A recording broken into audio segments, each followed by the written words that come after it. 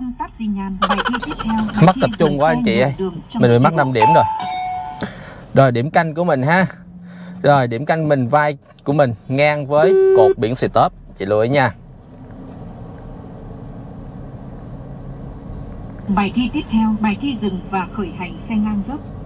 bài này mình cũng tương tự ha như có nghĩa là canh vai của mình hoặc là một vệt sơn trên cánh cửa bên phải ngang với biển stop rồi bắt đầu mình thực hiện bài này là giữ thắng nhả con thật chậm. À, chú ý vòng tua máy đến gục xuống tới vị trí 045 hoặc là độ rung của máy. Ha độ rung của xe của mình.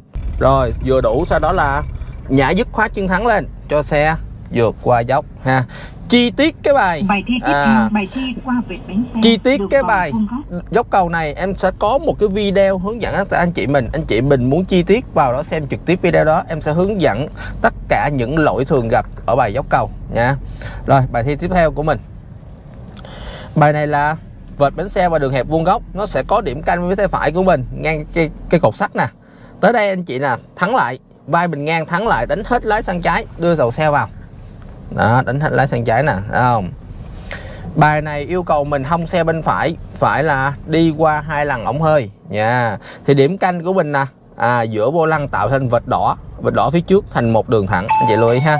Chỉ cần mình canh một đường thẳng thôi thì mặc định bánh xe bên phải của mình sẽ lọt vào giữa hai lần ống hơi. Rồi bài thi tiếp theo là bài đường hẹp vuông góc. Vai gương của mình ngang lần ống hơi đánh hết lái sang trái, quan sát gương trái. Rồi bắt đầu trả lái lại cho xe thẳng lái. Rồi gương phải ngang là ống hơi đánh hết lái sang phải. À chú ý quan sát gương phải nha. Coi bánh xe sau mình có đè lên vạch hay không. Bài nha thi tiếp theo. Bài thi qua ngã tư có tín hiệu điều khiển giao thông. rồi trong bài thi của mình nó sẽ có một lần xuất hiện tín hiệu. Bài thi phụ đó tín hiệu khẩn cấp nha. Khi mà xuất hiện tín hiệu này nó hú lên. Chị đập con đập thắng.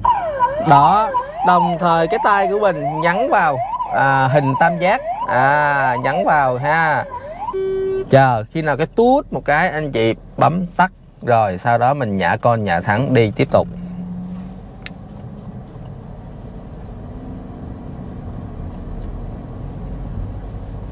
Rồi tiếp theo của mình là bài à, dừng tại ngã tư. Có à, tư dừng có tín hiệu đèn ha. Thì canh mình canh đầu xe của mình à. Đầu xe mình vừa khuất vạch vàng. Anh chị đạp con đạp thắng dừng lại và để ý cái dây ha người ta thường à, các giáo viên thường nói là ba dây đỏ thì đi ba dây xanh thì dừng à, nghĩa là mình canh 3 giây à, đèn đỏ mình 3 giây còn 3 giây thì mình nhả con nhả thắng cho xe đi qua nha còn 3 giây màu xanh thì mình phải dừng lại trường hợp đó mình qua sẽ không bị kịp Bài ha thi tiếp theo. Bài thi Tới. ngã ba ngã tư thì mọi người anh chị mình chú ý vào cái biển hiệu lệnh nha rồi trong bài à, đường vòng quanh co này. Điều tiên anh chị phải quan sát vào cái hướng chạy cái đường chạy của mình ra đối hạng mình. À, hạng B2 nè đi đúng vào đường của hạng B2 em nha. Rồi bây giờ là mình phải đưa xe à, cho thẳng vào con đường trước. Khi có tín hiệu tín ton nghĩa là vào bài nè vào bài nè. Gương ngang à, đánh đánh lái sang trái. Nha quan sát gương trái rồi xe thẳng gương ngang đánh gian lề đánh lái lái sang phải. À, đồng thời Bài quan sát gương phải. xem để xem bánh xe sau của mình có cán lần ống hơi hay không. Nha bài thi tiếp theo. Bài dừng à, tại ngã tư có tín hiệu đèn cũng tương tự ha. Đầu xe mình vừa khuất vạch vàng dừng lại. Chú ý đây là biển hiệu lệnh gì đấy anh chị? Đi thẳng. Nha biển hiệu lệnh đi thẳng. Rồi qua bài này nó sẽ tới bài đó là ghép xe dọc vào nơi đổ. Nha thì chi tiết cái bài ghép xe dọc vào nơi đổ á thì em đã làm những video hướng dẫn anh chị rồi. Anh chị có thể xem trực tiếp lại ha. Ngày hôm nay em sẽ nói sơ qua về cái bài này thôi à, trong cái uh, sa hình thi. Rồi anh chị cũng tương tự như cái bài à, đường vòng quanh co. Mình phải đi vào đúng cái chuồng của hạng mình nha. qua đây anh chị để ý ha. Để ý là những cái cột một biển màu xanh nè là biển chỉ dẫn của mình đó. Đó vào đúng cái chuồng của hạng mình. Dạ, Nha giao sai chuồng nghĩa là sai bài thi là anh chị bị lỗi trực tiếp đó. Nha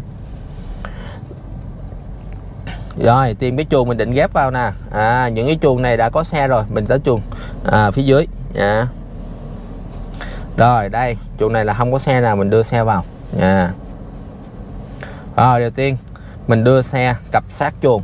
À như em đã hướng dẫn phía trước của mình sẽ có một vết vạch sơn và canh giữa vô lăng ngay ngực của mình là được ha rồi đồng thời anh chị quan sát gương gương trái nè. Bánh hông trái của mình cũng cặp sát chuồng. Rồi vai ngang giữa chuồng. À vai ngang giữa chuồng nha. Đánh hết lái sang phải cho xe tiến lên. Canh hông xe nha. Quan sát gương trái nè. Anh chị canh hông xe nè. Khi xe tiến lên canh hông xe hông xe tạo với vệt sơn trắng đỏ. Đầu tiên thành một đường thẳng. Từ từ tới nè. Đó vệt sơn trắng đỏ. Đó vừa khuất vệt trắng đỏ. Là mình dừng lại. À, đồng thời đánh hết lái sang trái lại. Vào số lùi quan sát gương trái tại vì bánh xe sau bên trái sẽ vào chuồng trước chị lưu ý ha. Đây vào nè nó không cán bỏ không quan sát nữa tôi quan sát bên phải tại vì nó nó vào rồi nó sẽ không bao giờ cán nữa. Khi nào mà song song thì dừng lại song song với thân chuồng thì dừng lại nè. Rồi dừng lại trả thẳng lái lùi vào để hai bánh hai bánh xe sau cán lên vạch nhận bài. Tín hiệu cán lên tút ra. À, khi có tút là anh chị phải nhanh chóng vào số tiếng ra khỏi chuồng khi ra khỏi chuồng thì nhớ vai của mình ngang miệng chuồng mới được phép đánh lái. Vai ngang đánh hết lái. À, anh chị đánh sớm quá thì bánh xe sau của mình sẽ cán lên. đánh trễ quá bánh xe trước sẽ cán lên. đều bị trừ điểm hết nha. Rồi cái đoạn này là cái một cái đoạn gọi là nó hơi dài. Nên mình có thể mớm ra thêm một tí để mình đi cho tranh thủ thời gian ha. Thì quay lại trong sa hình trường thi của mình á nó sẽ có 3 điểm để mình là tín hiệu khẩn cấp á. Điểm vừa rồi đó là vừa qua bài à, đường hẹp vuông góc. Điểm thứ hai là ngay đây có một cái bài thi đó là tín hiệu đèn giao thông á. Ngã tư tín hiệu đèn rẽ trái. Thì vừa qua bài đó trước khi bắt đầu vào bài đường sắt à, nó sẽ có hoặc là vừa qua à, bài tăng tốc nó sẽ xuất hiện nữa. Thì trường thi nó sẽ xuất hiện có thể là 3 hoặc 4 à, thì nữ giáo viên thực hành sẽ nói chi tiết à, những điểm đó để cho anh chị ha. Rồi nếu xuất hiện ở điểm này thì điểm sau sẽ không xuất hiện nữa. Tại ngã tư này có à, biển hiệu lệnh rẽ trái mình phải xi nhanh trái. Anh chị lưu ý ha. Bật xi nhanh trái. Bài thi tiếp theo, bài thi tạm dừng ở tại đây anh chị lưu ý là cái vạch tim đường của đường đi ra mình không được phép, cắn lên nha. Cán lên vạch vàng đó mình bị lội trực tiếp nha. Nếu trường hợp khẩn cấp hồi nãy không xuất hiện ở bài à, đường hẹp vuông góc thì nó sẽ xuất hiện ở khoảng cách này giai đoạn này. À đó anh chị lưu ý ha. Nếu đã xuất hiện rồi thì đây là không xuất hiện nữa nha thì trong bài của mình nó sẽ có hai lần xi nhan trái. Đó là lần gì đây? Một lần xuất phát một lần tín hiệu ghé trái ở ngã tư. Mình mới vừa qua đó là sau bài ghép dọc. Và hai lần xi nhan phải chút xíu nữa tới em sẽ nói đó là sau bài ghép ngang và trước bài kết thúc nha. Rồi tương tự bài à, bài này thì dừng tạm dừng nơi có đường sắt đi qua. Thì mình cũng canh vai của mình hoặc là một điểm trên điểm vệt sân trắng nè trên cánh cửa phải nè ngang với biển stop nha. Rồi sau khi kết thúc bài à, qua bài à, tạm dừng ở nơi có đường sắt đi bài qua. thi tiếp theo, bài thi thay đổi số trên đường thẳng. mình tới bài thi thay đổi số và tốc độ trên đường thẳng. Thì cái bài này thì là anh chị để ý cái à, ngay chỗ cái tín hiệu á, cái bíp á, ngay chỗ bài ngay chỗ cái cột tăng số tăng tốc á. Khi tới đó là anh nghe tín hiệu cái biến bon. Thì anh chị đạp con vào số 2 đồng thời nhả con và điểm ga để tốc độ mình trên tốc độ 20 trước cái biển tốc độ tối thiểu 20 và phải ga thắng giảm tốc độ lại tốc độ dưới 20 trước biển tốc độ tối đa 20 ha à, tới đây nè bắt đầu. Anh chị sẵn sàng sẵn sàng này ha. Rồi đạp con vào số 2 nhả con điểm ga lên tốc độ trên tốc độ 20 rồi đồng thời hạ tốc độ xuống dưới tốc độ 20 trước biển hạn chế tốc độ Bài thi tiếp 20 theo, bài ha. Đồng thời anh chị phải trả về số 1 nha. Nãy mình đi số 2 rồi, đồng thời mình phải trả về số 1 nha.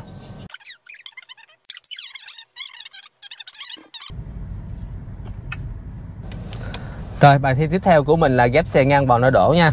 Trong à, bài ghép xe ngang và độ đổ chi tiết thực hiện với những cái lỗi mắc phải về sửa những lỗi đó em có làm những video hướng dẫn anh chị có thể trực tiếp vào xem để mình hiểu rõ hơn nha. Rồi trong à, xe hình của mình thì đối với hạng B2 sẽ có bài ghép xe ngang và đổ hạng C mình sẽ không có nha. Mình tìm đúng cái chuồng rồi thực hiện đúng điểm canh như em hướng dẫn ha.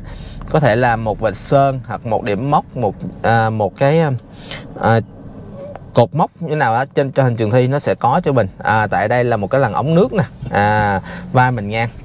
Rồi đưa xe qua khỏi chuồng vai mình ngang rồi đánh hết lái sang phải lùi vào nha.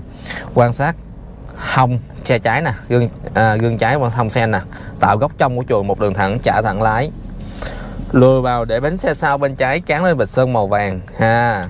Sẽ có vệt sơn rồi cán lên đánh hết lái sang trái rồi.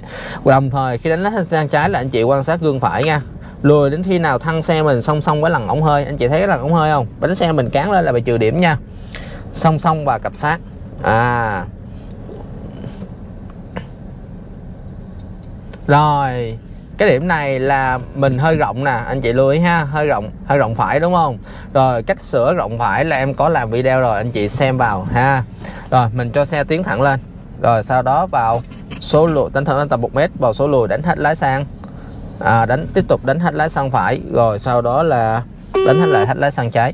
À, khi đầu xe song song thì mình dừng lại. Chi tiết em có làm bài video ha anh chị vào xem để hiểu rõ hơn. Rồi bây giờ tín hiệu nhận bài tút đã mình xong. Thì mình bài phải theo, bài ra khỏi bài. bài này thời gian thực hiện là 2 phút nha. Rồi tại cái ngã tư này là phải có tín hiệu rẽ phải. Anh chị lưu ý ha nhìn biển hiệu lệnh rẽ phải Bài thi tiếp theo, bài thi kết trước bài thi kết thúc anh chị phải có tín hiệu rẽ phải nha. Tín hiệu xi nhanh phải. Cũng giống như trường hợp mình cặp sát lề mình đậu mà mình, đến một điểm nào đó mình đậu đó. Bạn đã thi đạt phần thi sát hạch kỹ năng rồi chúc mừng anh chị ha. Vừa rồi đã hoàn thành xong. Cái bài thi à, sát hạch à, lái xe tại sân hiệp phát ha. Chi tiết bài này em sẽ làm trên video và anh chị có thể xem. Anh chị nào chưa hiểu có thể liên hệ trực tiếp với mình ha, để mình hướng dẫn cụ thể hơn. Rồi, chúc anh chị thi tại sân hiệp phát đạt kết quả tốt ha. Chào cả nhà.